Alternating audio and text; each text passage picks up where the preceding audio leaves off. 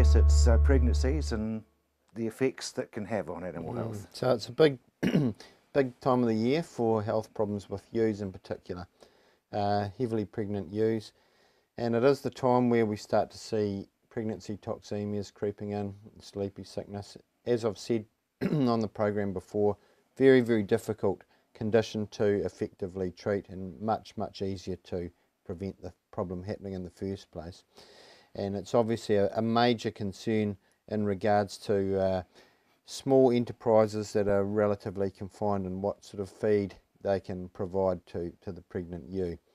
Um, and that should have been sort of budgeted for and, and a plan come up with uh, with feeding well before now. But um, I guess it's it is the, it is the time to make sure that you're not going to get, get caught short. And I guess the end result that or that the, the the the crux of the matter is keeping your getting your hand on the ewes and and seeing what sort of condition they're in and making sure that they're, they're maintaining body condition and by inference making sure there's enough energy getting to the babies.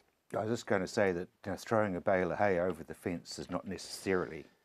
No, it's not. Um, hay, meadow hay generally, it may be an okay maintenance kind of ration, but when we're starting to talk about uh, growing babies, um, it's not. It's probably not going to do make the grade. So supplemental feeding is um, expensive and important. If it's needed, it's better off to be planned for well in advance. And if there's is a facility for the home property to uh, conserve feed for these sort of times, then that, then obviously that should have been thought about before now.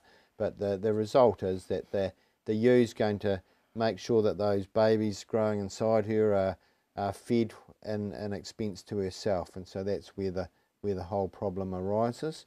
And uh, yeah, as I say, it is it is a bit of a problem that we see in smaller smaller block holdings where people struggle to, to maintain the right amount of nutrition getting to the pregnant ewe. I guess on a on a big operation you've got green feed and all that sort of thing, but a small one you haven't got the ground for that. Yeah, absolutely, and uh, yeah, it's it's very. I've said before, ten acre block farms and in the, in the Canterbury area. It's, any area. Yeah, it's a it's a very very difficult undertaking to, to have a breeding a breeding program um, on small small land areas. It's it's really really difficult. Um, but it's a dream for having little wee lambs skipping around the paddock and amongst the daffodils. Yeah, but we also need to. Yeah, it is a it is a nice image that we get, and it's a traditional New Zealand image. But it's it's also important to keep in mind what actually decision making and and uh, management issues go into to running such a such an enterprise, particularly during the winter months where virtually there's there's zero growth. Yeah, yeah. Exactly.